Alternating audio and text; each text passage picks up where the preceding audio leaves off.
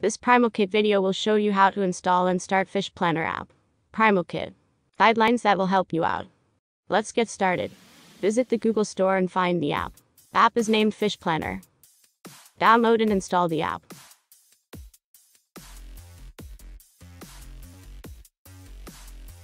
Use GPS location or your city name or zip code.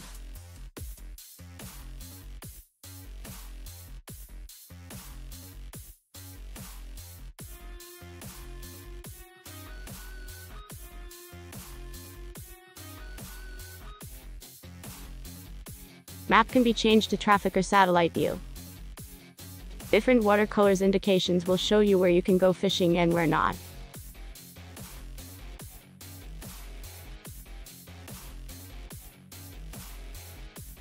Every city community has their own fishing rules, so make sure that you have understood and to read them click here on the city name or particular named place. By getting controlled you need to be able to show your fishing pass to authorities that can be shown on your email or just fishing pass card.